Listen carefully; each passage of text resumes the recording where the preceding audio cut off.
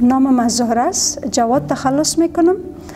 مدت یک سال و یک و نیم سال یا چیزی هم بیشتر میشه که یوگا کار می‌کنم. من خودم هم یک مادر هستم هم معسل هستم در این زمان شاغلم هستم و شخصا خودم تاثیرات بسیار مثبت از یوگا دیدیم. ما تجربه کردیم در فضای بازم ما یوگا کردیم. ما در باغ بابر می رفتیم یوگا می کردیم تقریبا دو سه بار که ما اونجا رفتیم یوگا کردیم. خب در اوایل یعنی مشکل نداشتیم می کردیم و یگان مزایمت ها از چهار طرف می شد خب بازم می گفتیم خیر. منتها دیدیم که پسان پسان وقتی که یعنی بار دوم و سوم مزایمت ها زیاد شدن.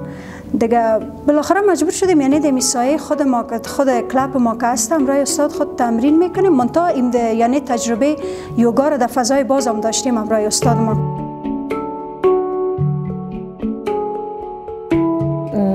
یوگا فواید زیادی برای خانم داره از نظر روحی روانی.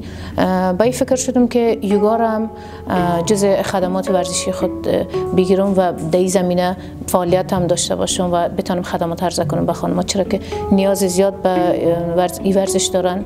استرسایشان کم می‌کنه و باعث میشه که بتونن بهتر روز کاریشان آغاز کنن.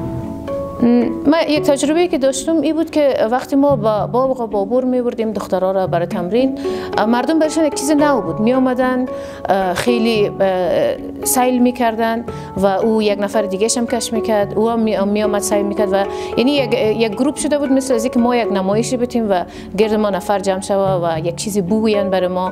و یا بعضیشون برشان بیخی یک چیز نو بود و خیلی به صورتی که چیزی خیلی نور دیده باشن ساعتها میشیشتن و اما تو سیل می‌کردن و حتی اندولایشون هم کش می‌کردن که بیاید یا رو سیل کنید خب یعنی میشه که بگویم که یوگا امی استرس لول به خصوص در خانما چون خانما زیادتر با مشکلات مواجه هستند. در طول روز چی در خانه می باشه چی در بیرون از خانه می باشه.